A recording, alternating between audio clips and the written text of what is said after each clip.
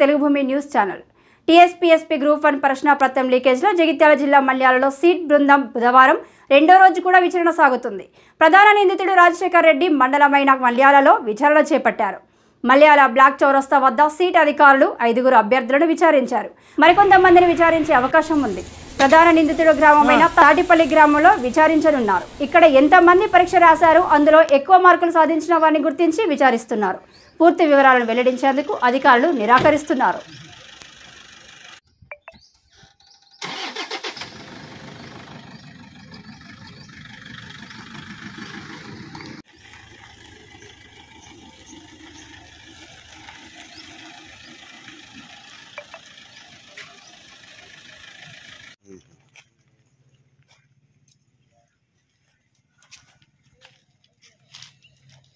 పదిహేను